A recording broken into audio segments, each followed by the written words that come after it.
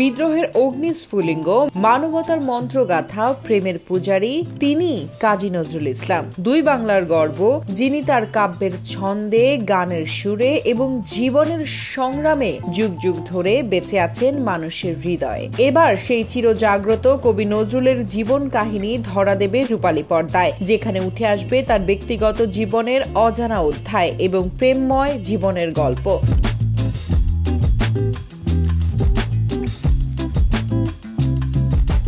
নজরুলের প্রথম প্রেম ছিল নার্গিসের সঙ্গে, যার সঙ্গে তিনি বেঁধেছিলেন প্রথম ঘর। পর্দায় নার্গিসের চরিত্রে অভিনয় করতে যাচ্ছেন বাংলাদেশের অত্যন্ত গুণী অভিনেত্রী অর্চিতা স্পর্শিয়া। এরপর কাজী নজরুলের দ্বিতীয়বারের মতো ঘর বাঁধেন প্রমিলা দেবীর সঙ্গে। আর প্রমিলা দেবী ছিলেন তার শেষ জীবনের সঙ্গী। এই চরিত্রে অভিনয়ের জন্য কলকাতার অভিনেত্রী ঈশা সাহার সঙ্গে প্রাথমিকভাবে আলোচনার কথা চলছে।